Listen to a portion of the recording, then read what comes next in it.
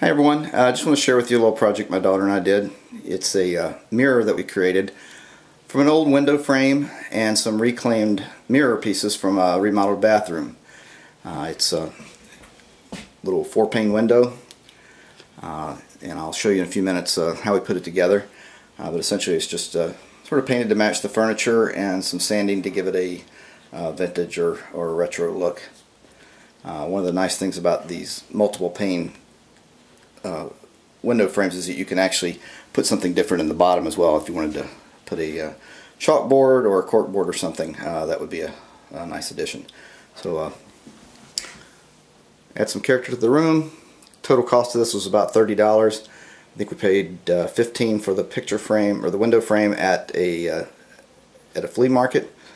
And the mirror cost nothing. We did have to spend about five dollars to have it cut at a local glass shop and then some clear silicone and some uh, glazing points is really all it takes. So uh, relatively low cost project.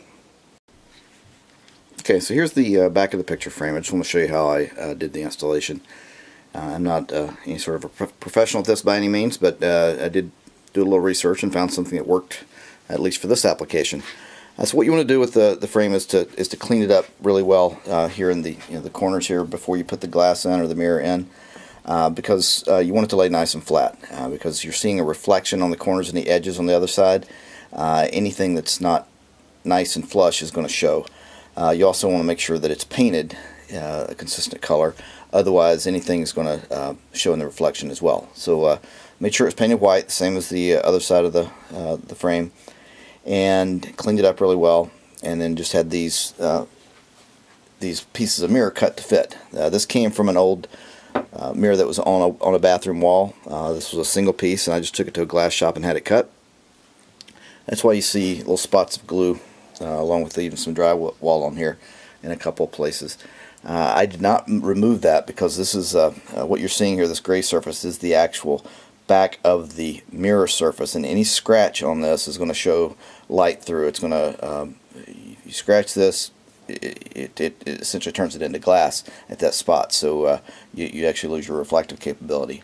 So be careful not to scratch it. It might even be a good idea to put some cardboard or poster board or something some protective surface over this if you think there's any chance of it getting scratched from this side. So uh, to install it cleaned it up cut it to fit did a dry fit to make sure everything worked and uh, then I just put a bead of clear silicone in here. I did a little research about what to use there, and uh, a lot of the glazing putties are a dark color, which uh, just don't look good uh, with, with a mirror because uh, you can see it from the other side. So uh, used the clear silicone, and you can still see it in a couple spots because the, the cutting of the, the, mirror was not precise. you can see there's a pretty good gap here. and on the other side you might be able to see a, a little bit of a reflection of the, the silicone, but it doesn't show up as much as a dark putty. So so put a clear bead of silicone, push these in, and then uh, filled in any of the gaps with the silicone. Uh, then I used what's called a glazing point. Here's the, the package uh, that I you can pick up at any hardware store. I think I got these at Home Depot. Uh, and these have a nice little lip on them so you can actually push them in with a, uh, a putty knife just like this. So you just take it right up to the wood, give it a nice little push, and it goes right in. And that'll hold it in place uh, until the, the glazing putty or the silicone dries.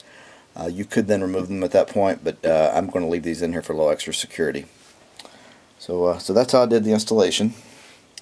And uh, with the silicone, you need to let it uh, dry for about uh, 24 hours, and and then you can just any any mess you can clean up with the with the razor blade. So, so that's what it looks like. nice little project. I think it'll add some character to my daughter's room.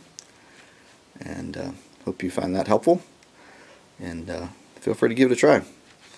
Uh, one thing to consider with when you're buying these old pic picture frames though uh, is that the, excuse me window frames they'll very often have uh, lead paint on them and that was the case with this one.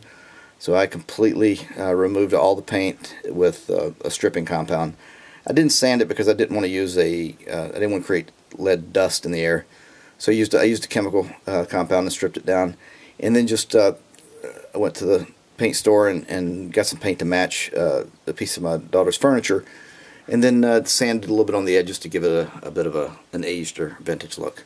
Uh, that's your choice uh, whether you do that or not.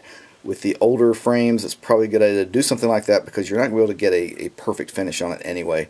Uh, most likely it's going to be dinged up or uh, even have multiple coats of paint or potentially some sand spots on it. So, um, so I think it I think it turned out pretty good, uh, at least for a first time. And look forward to the next project. Thanks.